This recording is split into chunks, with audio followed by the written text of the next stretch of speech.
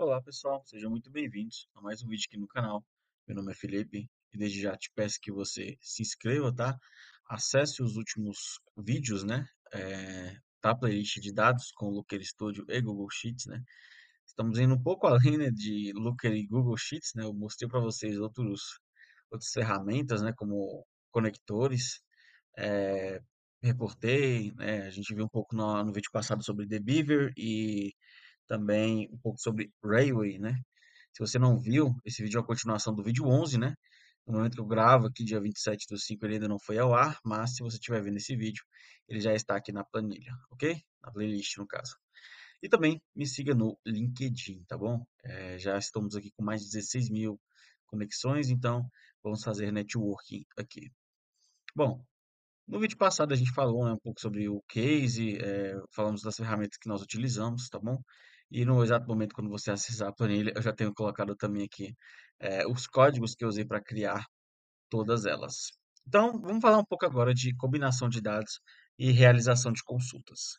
A combinação de dados, ela permite a união de várias tabelas ou fontes de dados em uma única exibição. Então, com isso, nós teremos informações mais detalhadas e eficientes.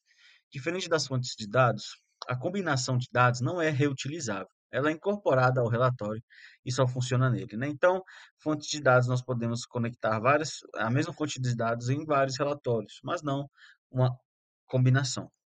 Então, podemos aplicar uma cópia do relatório e manter as fontes de dados para que a combinação continue funcionando, né? Esse é o jeito de a combinação continuar funcionando de um relatório para o outro, né? Você precisa realmente ali combinar todas. Quando combinamos dados, as métricas se tornam dimensões numéricas, ou seja, não é possível modificar a métrica quando ela está dentro da combinação. Precisamos alterar os dados na fonte matriz. Né? Então, se você quiser alterar algum valor que esteja nessa combinação, é bom ir nas fontes matrizes que foram feitas essas combinações e alterar o dado lá. Então, na linguagem SQL, a gente utiliza o comando join, né? Para realizar combinações de dados entre tabelas. Eu já fiz um vídeo também é, sobre esse comando, tá bom? Lá na playlist de linguagem SQL. O Looker Studio, ele é low code nessa parte, ou seja, na opção adicionar uma combinação, podemos adicionar um nome para a tabela e uma lista com todas as fontes de dados carregadas em nosso relatório. E para fazer a configuração de agrupamento, precisamos ter entre as tabelas campos em comum, né? Campos basicamente chaves primárias que a gente vai utilizar. E no Looker Studio existem cinco tipos de agrupamentos, né? O externo à esquerda, onde as linhas correspondentes à tabela que está à direita e as não correspondentes da tabela à esquerda são retornadas. Temos a externa à direita, que basicamente é o mesmo que a externa à esquerda, com a diferença que traz os correspondentes né, da tabela à esquerda e os não correspondentes da tabela à direita, ok? E temos também interna, que é a mais utilizada e traz todas as linhas correspondentes às duas tabelas. É, temos a externa completa, que traz todas as linhas das duas tabelas, independentemente de serem correspondentes ou não. É, e temos a cruzada, né? Então, traz todas as combinações possíveis entre as tabelas, ok? Então, dito tudo isso, né? Vou retirar aqui essa, essa parte do resumo e vamos trazer o nosso fato relatório aqui para a gente é, começar a construir algumas coisas. Então, como ele falou lá, a gente pode vir aqui em recurso, é, gerenciar mesclagens, né? A gente vai ver que não temos nenhum ainda, então vamos adicionar uma combinação. Aqui dentro, né, nós temos várias maneiras de realizar combinações, então há mais maneiras de combinar seus dados.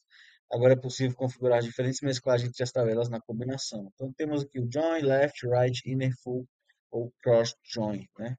Então agora não queremos continuar editando. Aqui eu vou dar o meu é, selecionar aqui o que eu quero, ou seja, eu vou escolher aqui o, a tabela primeiro como produtos, ok? Vou adicionar a dimensão produto ID, tá? Daqui eu vou colocar produto. Você pode tanto selecionar aqui, quanto também arrastar aqui, ó. Por exemplo, eu quero preço também, também quero marca, ok? E aqui na segunda, a gente vai adicionar outra tabela. No caso, eu quero itens pedidos, ok? E aqui eu vou dar o um nome para itens pedidos, tá bom? Vou colocar isso aqui como um underline, tá? Pronto. Aqui, ó, olha só que legal, ele já identificou, de certa forma, a dimensão que conversa, né? De uma tabela para outra. Porém, aqui eu vou adicionar também estados nas dimensões, pedido ID, vou querer também quantidade, depois de quantidade eu quero o valor total, depois do valor total eu quero também o valor unitário, né? E aí lembra que essas fórmulas aqui a gente calculou no vídeo passado, então eu quero também despesas, lucro, margem de lucro, número de vendas, receita. Posteriormente a isso também vamos adicionar aqui ticket médio, tá bom? E também, se você tiver algum filtro, né, que queira utilizar nas suas eh, combinações de dados, dá para adicionar também filtros aqui, ok? Mas eu não tenho nenhum, então eu vou deixar sem. E aqui eu vou dar um nome para para minha conexão, ok? Então eu vou colocar tabelas empresa venda, ok? Bom, então depois de itens pedidos eu vou adicionar outro ah, outra tabela. Primeiro vamos, vamos configurar o, o agrupamento aqui. Eu vou utilizar o interno, tá bom? Que é retornar apenas as linhas correspondentes das tabelas à esquerda e direita, né? Então esses, essas duas condições de join elas vão se conversar. Então vou salvar aqui. Vou adicionar agora outra tabela, né? Que é a itens pedidos. Não, já foi itens pedidos. Deixa eu ver outro aqui. Agora é pedidos, no caso, né? Cadê? Adicionei aqui, pessoal. Produto ID. Data compra e total. Vendedor ID, né? De vendas, ok? Ah, posteriormente, a gente vai colocar a condição aqui, retorno externo à esquerda, né? Para que eles conversem produto ID com produto ID. E aqui ele vai retornar as linhas correspondentes da tabela à direita, né? Ou seja, a direita aqui vai conversar com a esquerda, né? Salvar. Então, é, vamos carregar aqui a nossa combinação, ok? Tô salvando. Pode ser que demore um pouquinho aí no seu caso. Vou dar um pause aqui até que ele carregue. Olha só que legal. Após você carregar e salvar aí certinho, né? Ele vai manter as fontes de dados, mas agora a gente tem aqui, ó, esse, ci- esse íconezinho de faixa, tá vendo aqui? Deixa eu trazer mais para perto, ó. Olha só que legal. Tá vendo aqui? E aí você pode digitar também a fonte de dados, ou seja, toda, você pode a qualquer momento vir aqui, né? E editar e mexer aqui no relacionamento, escolher mais dimensões, mais métricas, adicionar algum filtro em alguma determinada tabela, ok? É, bom, é isso aqui, por exemplo, eu não dei é, a tabela, é, o nome aqui para a última, né? Vou colocar vendedores aqui, ok? Vou salvar. Em casa, peraí, já sei o que eu vou fazer. Tem pedidos.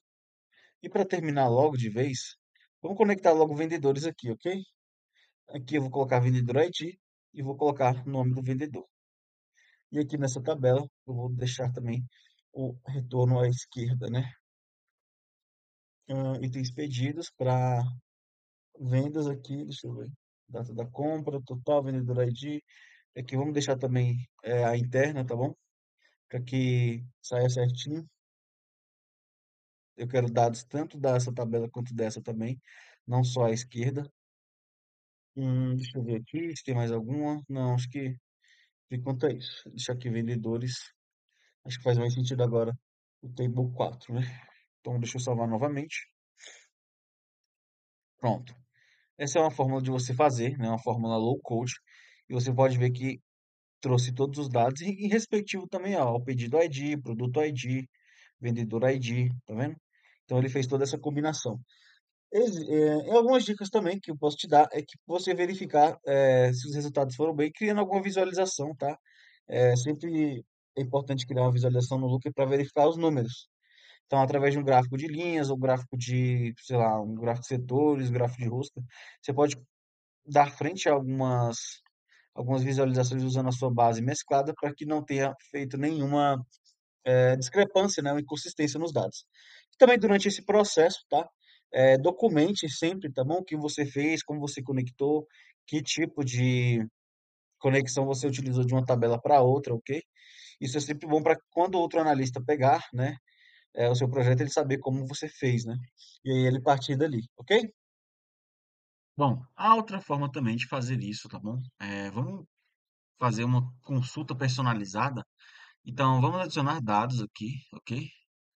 E vamos novamente conectar, né, aqui, eh, a nossa consulta utilizando o MySQL, ok? Vou trazer novamente aqui o IP, nome do host, a porta e o banco de dados. Bom, após fazer isso, vamos na consulta personalizada e ele vai te pedir para você inserir, eh, a consulta personalizada. Aqui, pessoal, é necessário ter conhecimento de SQL, né, para você fazer essa consulta manualmente. Eu vou colar aqui a minha consulta, tá bom?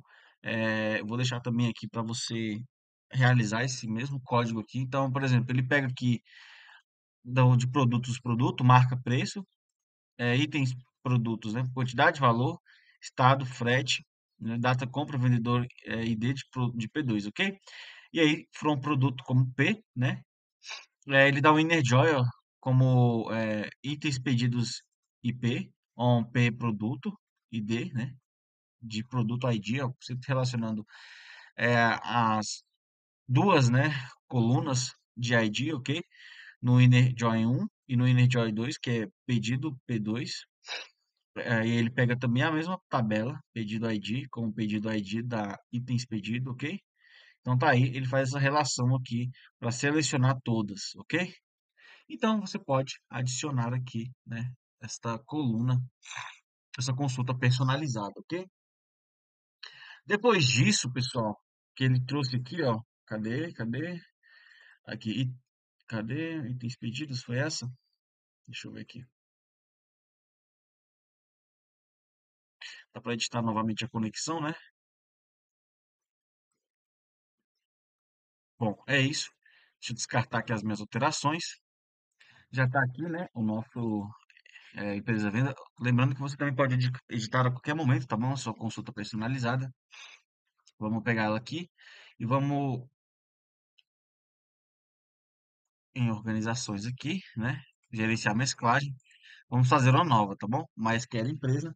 Eh, você com conseguiria conectar aqui de novo com vendedores, ok? E aí, nome vendedor, ah, aqui eu teria o vendedor ID, certo? O vendedor ID.